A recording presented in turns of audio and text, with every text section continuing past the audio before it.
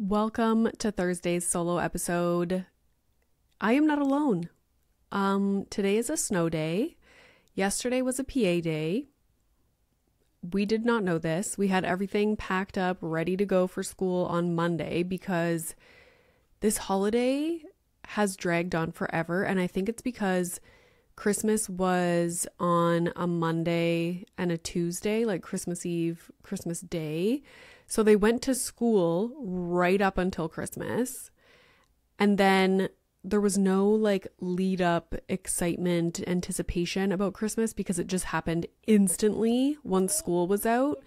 And then Christmas happened. And then it was like all this time off. So, like, Christmas already happened. I ripped down all the decorations on the Christmas tree the Boxing Day, the day after Christmas. And then it just like dragged on forever. And we're still, like, I'm still on holidays, guys. Okay. As I record this, it's Tuesday. Um, let's pray that by the time you're listening to this on Thursday, hopefully, because you should be listening as soon as it comes out. I'm just kidding. Um, that my life is somewhat back to normal.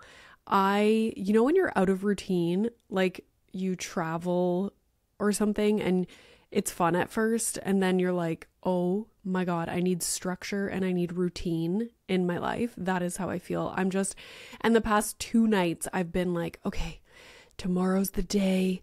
I'm gonna, you know, put, take out my little weekly calendar that I do every Monday morning. I'm gonna schedule my whole week and make plans and look at my calendar and just be like on the ball. No, didn't happen. And then last night it was the same thing. I was like, okay, here we go. Tomorrow, tomorrow. And I had a massage booked today because I don't know how I'm sleeping. I need to videotape myself sleeping. I wake up with a crazy kink in my neck, so much so that I can barely turn my head to the side. And I feel like it's been a sore neck for so long that now it's just starting to get more of a serious issue. So I booked two massages for the next few weeks because I like to go, if there's something really bothering me, I like to go a few times, like close together, to try and get rid of it. And I called my massage therapist this morning. I was like, Milo's school is canceled. Like, I can either bring him to the appointment and he can sit there and hopefully just watch his tablet, or we can reschedule. And she was like, it's totally up to you. So I rescheduled to Thursday. But yeah, it's just, I'm really looking forward to regular life. And to be honest, all I can think of is as soon as we go back to school, everyone is going to have some kind of illness because they've been with family and traveling and all that kind of stuff over the holidays. And then we're going to be just back at home sick at any moment. So that's what I keep thinking. I'm like, it's going to get back to normal and then we're probably going to be back at home. But anyways, these are things that we cannot control, right? Yes. Um it's funny because my husband was saying that for the snow day, they they wanted us to log into a Google Meet thing. I guess they had all this kind of stuff in place when it was the pandemic and people were in quarantine. So he's like, Yeah, you're supposed to log into this Google Meet thing at 9 a.m. and then at 3 p.m. And I was like, What? So I missed it at 9 a.m. Like, I'm just, when plans get turned upside down, like I was making my oatmeal, I'm trying to make his breakfast, I'm I'm like, I'm not logging into something at 9 a.m. So I missed the 9 a.m. one. And as I was setting up to record this podcast, I'm like, oh, great, it's three. Like, I didn't log into that one either. I, I have no idea what it's for. I can't imagine they do anything that important, but we shall see. Um, puzzles and Legos are my new identity, and it's literally all I want to do in life for so long I would build Lego. Like Milo and I would get these massive Legos, like the Home Alone house. We currently have Bowser's Castle that we need to build.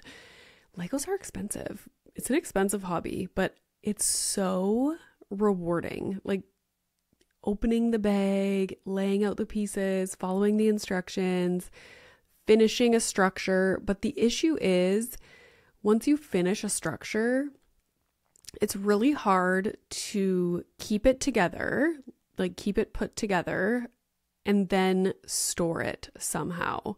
And the smaller ones, Milo loves to build them and then break them apart and then rebuild them and break them apart. And that's fine. Like you just throw the pieces in a Ziploc bag or whatever with the instructions, and you can do that. Keep it separate from the other ones.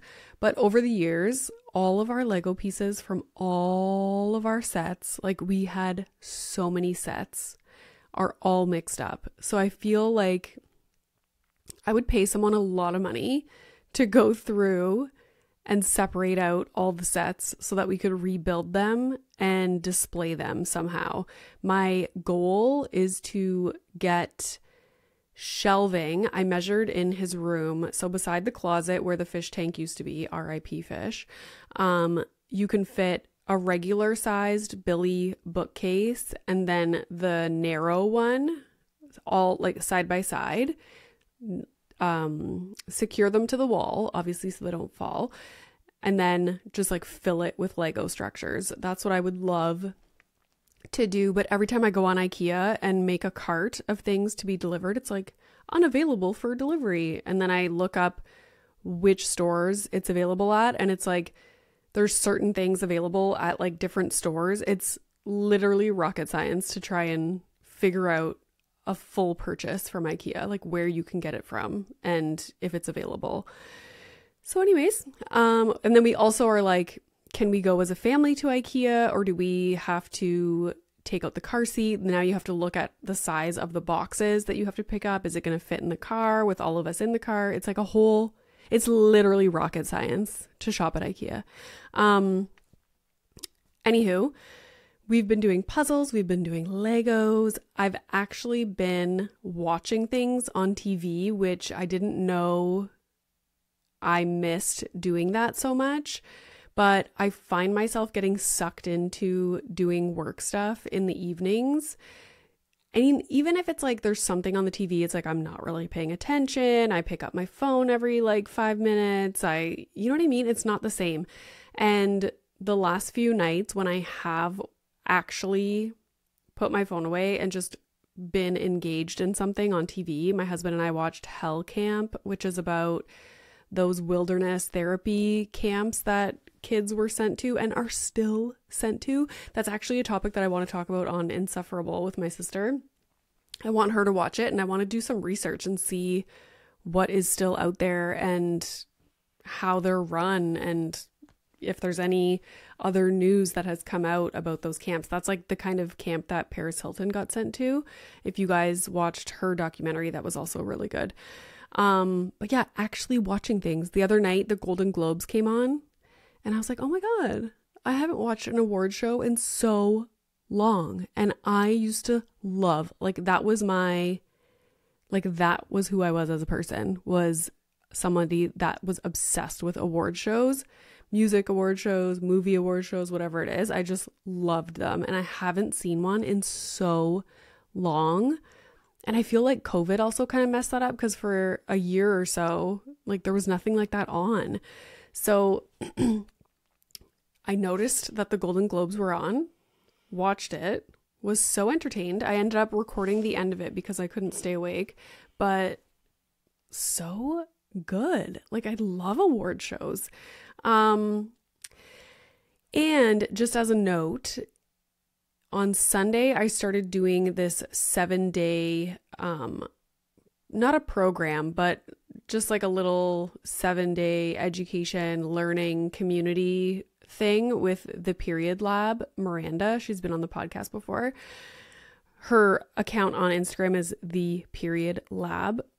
I am learning so much about our cycles and the different phases and what happens to the hormones in those phases, how to eat to help balance your hormones and like offset different symptoms. And if you look at some of the symptoms that are common in the different phases of a menstrual cycle, I am literally like a textbook example of what people might experience. The week before my period, I'm like, okay, I actually don't know. I need to look further into this and like actually look at my what I'm like during these phases. But I remember yesterday, one of the options was apathy. I was on my I use the Flo app, not the paid version, just the free version to to kind of track symptoms and stuff. And just like throughout the day, like open it up and be like, "Hmm, like what am I experiencing today?" And it's interesting, but one of the things was apathy. And I was like, I think that's what I feel. Like I don't feel depressed. I don't feel necessarily like sad. I'm just kind of like, uh like questioning everything like why am i even doing this? Like why am i having a podcast? Why am i posting on social media? Like everything sucks. Like nothing you know what i mean? Like it's weird. And so i looked up the definition of apathy. That's literally me a couple days into my period i'm the most apathetic person i'm just like a blob like existing um so i thought that was interesting so it's I feel like for a couple years or like a year at least, I was just living through all these things, not even realizing what was happening. But now it all makes so much sense. And it's so bang on. Like during my period, I just want to like lay low. Yesterday, I went to a yin yoga class, which was like, oh my God, I needed it considering this holiday break has been like nine years long just like in a quiet, dark room, hot, candles, stretching. It was heavenly. Um, yeah, and like the different workouts that you do in the different phases, it's just so interesting. And I'm going to really try to keep up with that, keep up with the protein and the fiber and all that stuff. So I've been sharing quite a bit on Instagram, but we'll see. Maybe I'll once I actually figure stuff out and lay it out, maybe I'll do an episode all about that stuff because you guys seem to be interested in that. um, today, the biggest thing that I wanted to talk about because all of a sudden it's in the news constantly is sleep divorce. Like, hello, we were talking about this on the mom room a long ass time ago, like years, I would say. Sleep divorce. When Cameron Diaz put out the there was an article about how she said we need to normalize sleeping in separate beds. I was like shocked at how many people sent that to me over and over and over. Like every single DM I opened, every text message, it was like somebody sending me that article or one of the articles. I feel like every single media outlet wrote about Cameron Diaz saying that. Um, also, I just came across an article about Carson Daly and his wife saying they have some, they have a couple little girls or three young kids, I think. And they were, you know, there was this article about how they sleep separately.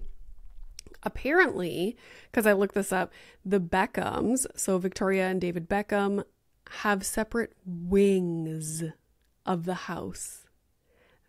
That's a dream my dream is like, I want my own little condo. I so miss just being a person that lives by themselves in a condo. It's so manageable. You know, you have a small living area. You can keep it clean. You can keep it organized. You don't have a ton of stuff. You don't have outdoor stuff. Like, you don't have to worry about like shoveling or, you know, upkeep of anything. It's just like such a simple life. And this is what I always say to my husband like, it's very common for families in Europe and maybe in big cities as well, but even like, I don't think it's as common. Like, definitely in Europe, it's so common for families to live in small condos. That's just how they live. And my husband's like, yeah, but it's different. And I'm like, I know it's different, but imagine how, like, there's ups and downs to both. Like, having but in in my mind I'm like why do we have this house? We're three people. We could literally live in a condo if Bubbles wasn't such a bitch and barked at everything.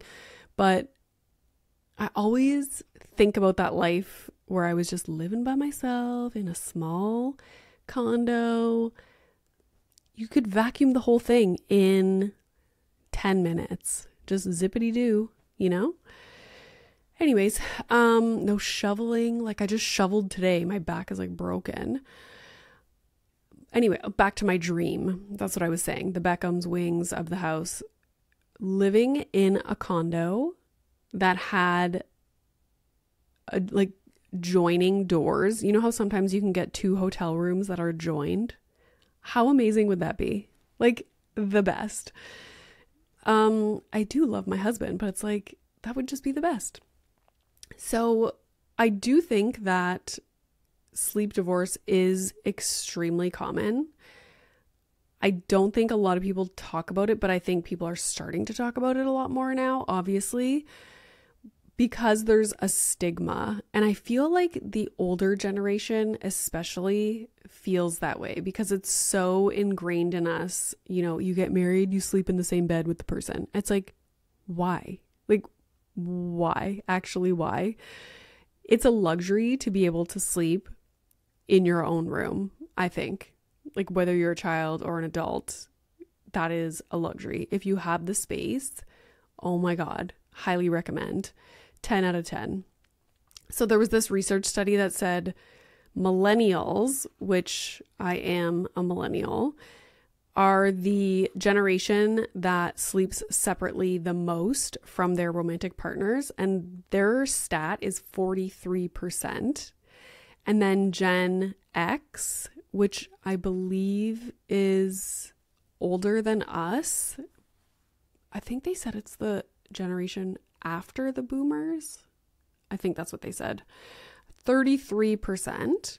And then Gen Z is 28%, which I get. Like, Gen Z, how old would Gen Z be right now?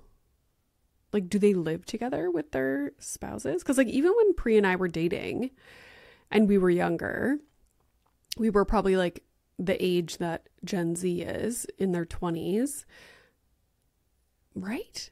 Or no, because I think Claudia from the Toast is 28 or 26, and she calls herself a millennial, I think. So it's like the younger, younger people. Anyways, of course, you don't have to sleep separately because before before sleep was such a priority and a thing that mattered to me, I would sleep anywhere, literally anywhere. Like took a trip to Australia, sleep in a tent on the beach with like random people I hardly knew. You know, I think back on where I used to sleep, just any old place with a blanket, doesn't matter. Now, once you get older and sleep is not in your control, aka you have kids, it matters so much. You become so fixated on getting good sleep, non disrupted sleep, that you become extremely high maintenance. At least that's what happened to me. Before, could care less. My husband gets called in the middle of the night, goes out. You know, I used to go to bed. I always go to bed earlier than my husband. And he would lay in bed and watch TV, and I would just try and sleep and like lay there while he was watching TV. And then eventually he would turn off the TV and we would both go to bed. Now, that would never fly. Like, I want my alone time to read my book in the dark get ready for bed, get sleepy, and then close my eyes and go to bed. Now, if he were to waltz in to go to bed at 11 p.m. when I've already fallen asleep, rage. If somebody calls his phone because there's like an emergency at the hospital, rage in the middle of the night. Also, he, on like two or three mornings of the week, he gets up really early because he has to be at the hospital really early. No, and I think to our previous life, he would get up super early, go in the bathroom, start showering, like all while I'm in bed trying to sleep. And I didn't care. Now that sleep matters, oh, I care. Um, some of the reasons they listed why couples are choosing sleep divorce, which this will probably not come as a surprise. Snoring. Oh, I meant to look up the actual physical, like how snoring happens. I would like to know that. I want to see a video of the inside of someone's throat to understand what is happening. What is happening? Because when people snore, first of all, how can you not hear yourself? How do you not hear yourself? Some people snore so loud and they're sound asleep. And I'm like, how? But if that same level of noise came from somewhere else, they would wake up. So, how are you not hearing yourself snore? First of all. Also, people that snore, what is going on? What's happening? Like, is your throat closing in on itself? Is your tongue like getting stuck in the back of your throat and you're like, I will never understand. I literally can't fall asleep when my nose makes like a tiny little like sound. Can't fall asleep. That's why I got a sound machine. Because after I had surgery on my nose, it would make this little sound when I would breathe. Had to start sleeping with a sound machine. So, how are you like falling asleep just fine? You know what's really rage inducing? is when I'm watching TV and my husband starts doing his little like snore breathing beside me on the couch. I wake him up and I'm like, go to bed. Go to bed. Ooh, drives me bonkers. Anyways, snoring, huge, huge. Not only does it prevent me from being able to fall asleep, but it raises my cortisol and I'm so irritated that I can't sleep. So, uh, number two, sleep schedules. Again, I go to bed earlier than my husband. I don't want to be sleeping, and then he gets into bed and wakes me up. Rage. Sleep apnea, which is like a legit problem. My sister has that. She went and did a sleep study at the hospital. That is scary. You're basically stopping breathing multiple times overnight you have to sleep with a CPAP. I don't know what kind of sound CPAPs make, but I feel like I might like it. Unless you can hear the person snoring through the CPAP. And like we think CPAPs aren't that big of a deal. Like it's just like this thing that you put on your face. No. It's a huge deal. I should get my sister to film hers and see just how uncomfortable it is. Like they had to figure out the proper setting. It was it like blasts air in your face to keep your breathing or your windpipe, whatever it is, open so you're not snoring and stopping to breathe. But it blasts air so hard into your body that she would wake up with like a distended, extended, whatever stomach full of air in like so much pain. Can you imagine? I can't even imagine. So, anyways, it's a big deal. Um, restlessness, some people just move around a lot when they're sleeping. Some people are light sleepers. That's probably me. And then also, a lot of people work shift work. People are on call, that kind of stuff. Um, somebody mentioned something in one of the articles that was saying it's not about like people are so focused on like oh you're not sleeping with your partner you're not sleeping with your partner like that's that's not what it's about it's about getting a good sleep so if you get a good sleep with your partner. I know so many people are like, oh, I find it hard to sleep when my husband's not in my bed. And I'm like, yeah, I used to be like that too before all these other things started. Like my husband started snoring and all that kind of stuff. Um, I used to feel the same way. Now I don't. So it's totally dependent on are you getting a good sleep?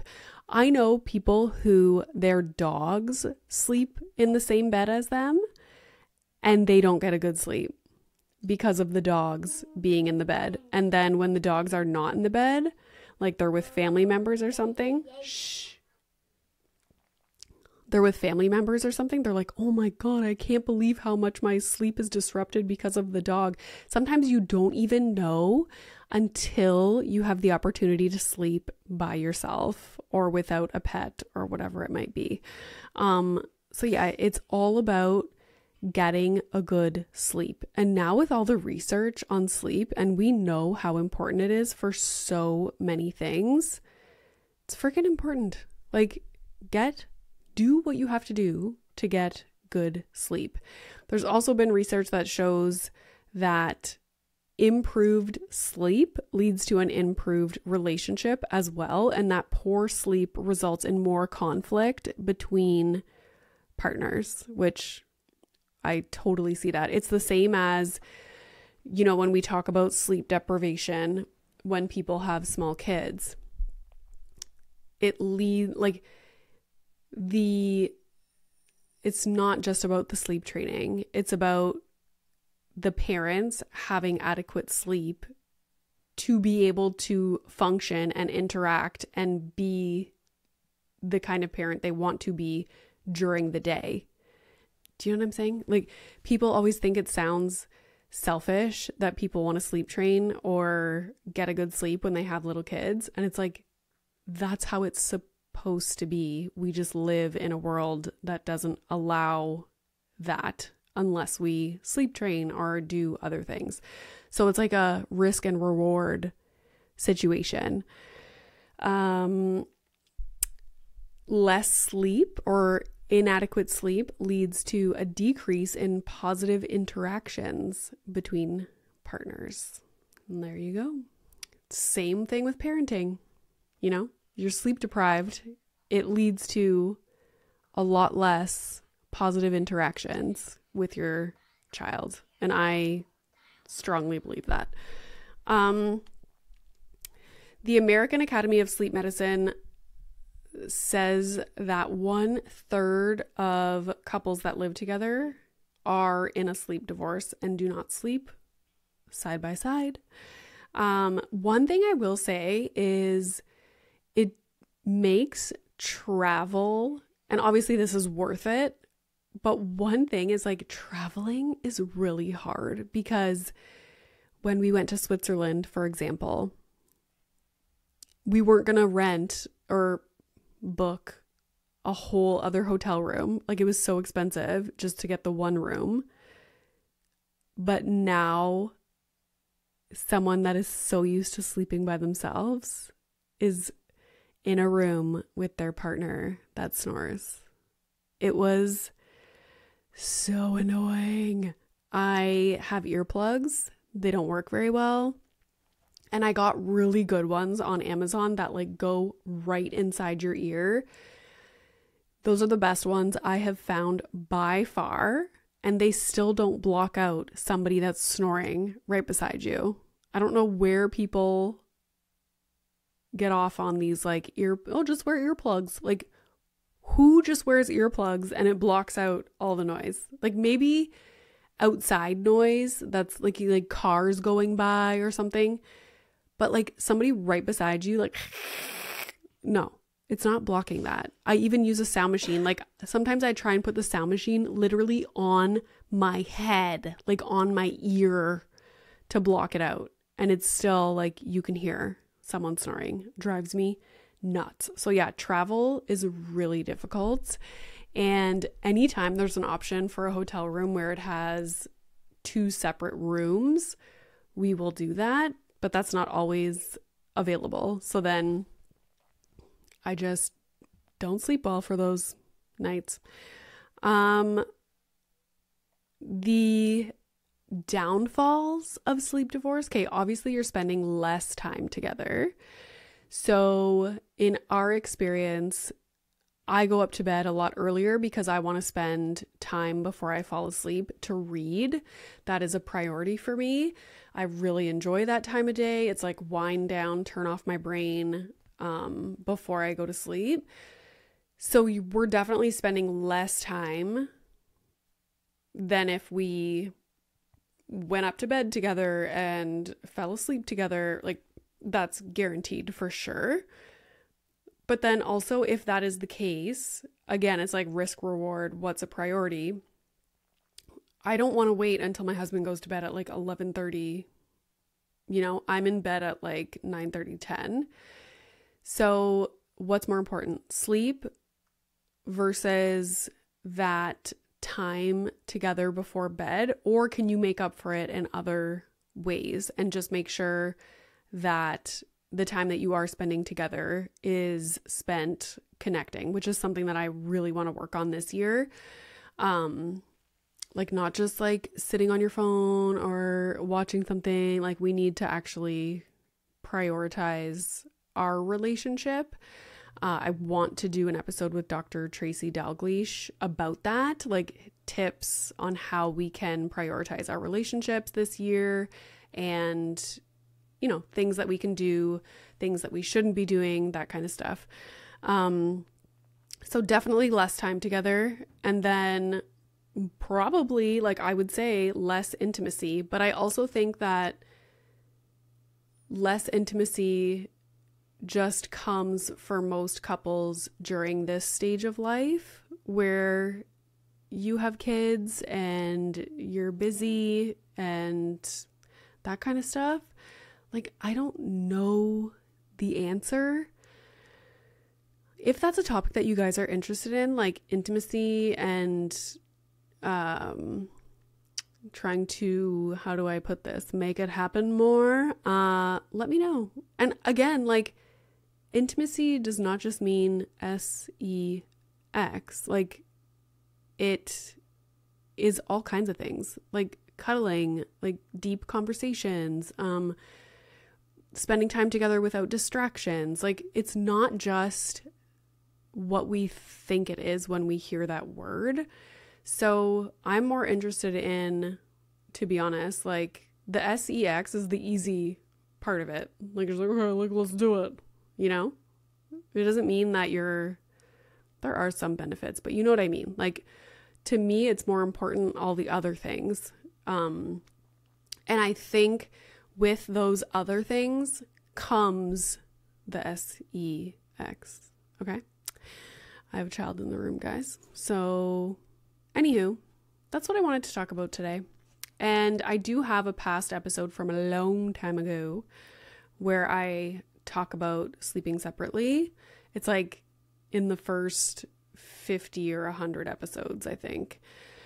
So if you're interested, listen to that. I'll link it in my stories. But yeah, guys, that's it for now. And let's all just hope and pray that tomorrow my life is back to normal. Okay. And I have a little bit of routine. I have two meetings tomorrow.